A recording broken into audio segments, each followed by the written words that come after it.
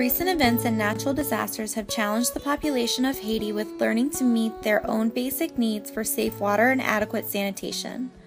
What we want to do is bring an understanding of water testing and environmental monitoring to the citizens of rural Haiti. Native Haitians can easily learn to assess water quality by using field testing kits. With minimal funding, we will bring these kits to rural Haitian citizens and demonstrate their use. Working hand in hand with the local population, this initiative will make significant inroads towards self sufficiency for Haitians. Teachers well versed in laboratory work will implement a pilot program consisting of short term, targeted, hands on learning experiences surrounding environmental monitoring as it relates to health in Haiti. The program will consist of visiting bioscience instructors teamed with Haitian interpreters, delivering environmental monitoring techniques to small groups of students.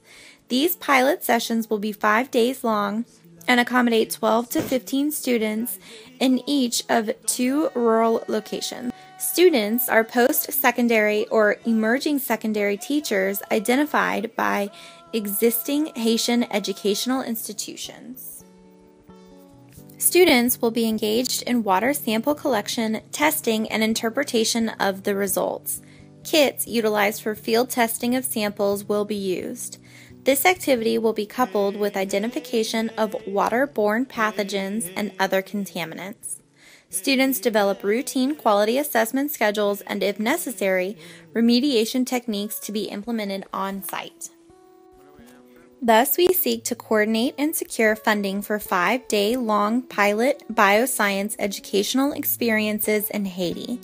We estimate the cost to be 8,000 US dollars to cover materials, travel, and teachers, and plan to raise funds through crowdsourcing. Please make your contribution now by clicking the icon below.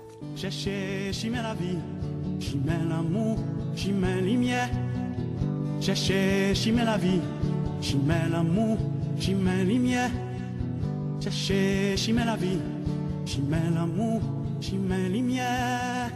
Chercher, mets la vie. J'y mets l'amour, j'y mets.